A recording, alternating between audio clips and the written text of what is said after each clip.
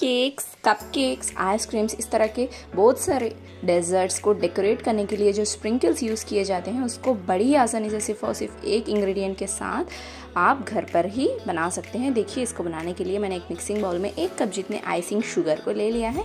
अगर आप icing sugar की रेसिपी चाहते हैं तो आप मेरे चैनल से देख सकते हैं। मैंने ऑलरेडी आइसिंग शुगर की रेसिपी डाल रखी है, या फिर उसका लिंक भी डिस्क्रिप्शन बॉक्स में दे दूँगी। और उसके बाद देखिए, इसमें हमें ज़्यादा पानी नहीं डालना है, बस एक टेबल स्पून जितने पानी को इसमें डाल लीजिए और इसको बहुत ही अच्छे से मिक्स करते जाना है हमें। इस ए एक बहुत ही बढ़िया सा पेस्ट बन जाएगा। अगर आप पानी ज़्यादा डाल देंगे तो आपके स्प्रिंकल्स जो है वो ठीक से नहीं बनेंगे। तो देखिए, इस तरह से बहुत ही अच्छे से मिक्स कर लेने के बाद हमारे स्प्रिंकल्स के मिक्सचर का कंसिस्टेंसी इस तरह का चाहिए हमें। और उसके बाद इसको मैं चार पोर्शंस में डिवाइड कर रही हूँ।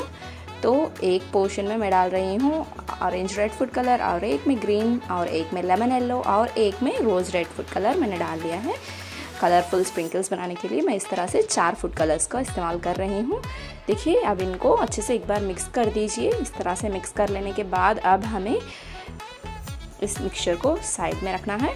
और उसके बाद एक पाइपिंग बैग को ले लीजिए अगर आपके पास हो। वरना आप इस तरह के कोई भी एम दूध के पैकेट जो होती है घर पर, उसको भी ले सकते हैं। उसमें एक मिक्सचर को डाल दीजिए और इसको एक रबर बैंड की मदद से टाई करके सामने थोड़ा सा कट लगा लीजिए।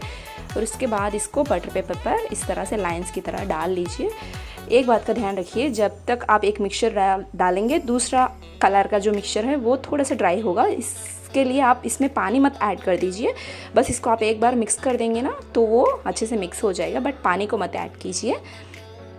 देखिए, इस तरह से सारे कलर्स को मैंने इस तरह से बटर पेपर पर लाइंस और डॉट्स की तरह डाल लिया है। आप जिस शेप में इसको डालना चाहते हैं, उस शेप में यहाँ पर डाल सकते हैं। तो इसको अब हमें तीन घंटों के लिए सूखने के लिए रखना है। तो तीन घंटों के बाद बस फ़ैन की हवा के नीचे ये अच्छे से सूख जाएँगे। और तीन घंटों के बाद मैं आपको दिखा रही हूँ। आप देख सकते हैं कि कितने अच्छे से ये डिमोल्ड होकर आ रहे हैं। इसको और अच्छे से डिमोल्ड करने के लिए बस इसको इस तरह से प्रेस कर दीजिए और प्रेस करने के बाद इसको प्लेट में डिमोल्ड कर सकते हैं आप।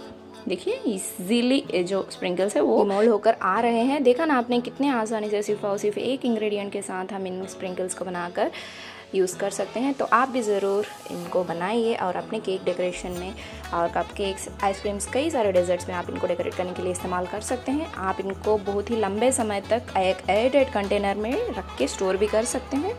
रेसिपी अच्छी लगी हो तो लाइक कीजिए अपने फ्रेंड्स एंड फैमिली के साथ ज़रूर इसको शेयर कर दीजिए। और भी इंटरेस्टिंग वीडियो सबसे पहले देखने के लिए चैनल को ज़रूर सब्सक्राइब कर लीजिए। बेल के साथ। Thank you for watching